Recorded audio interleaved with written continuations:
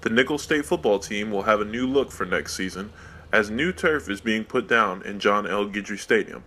The field is being paid for by donor Lardarius Webb and will hopefully be completed before graduation in order to accommodate the mass amounts of people hitting the stage. I, I think the new turf will probably help us promote and recruit a lot of uh, athletes in this area and out of state to, just show that we got a lot of progress going in our program from when we first got here to where we are now. And it's going to be a top uh, of the line turf that's going to help us as our athletes uh, be safer from injuries and a whole new look for our fans.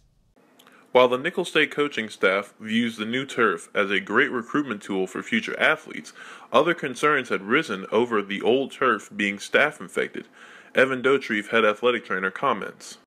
Guys up there throwing up, sweating, blood gets on it. it those things build up on there, so you have that chance of staph infection building up, and it, and it hosts those bacteria and everything.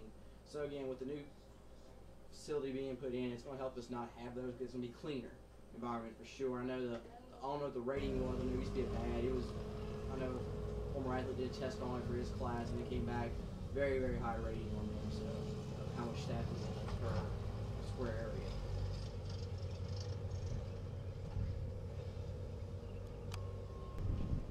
The construction is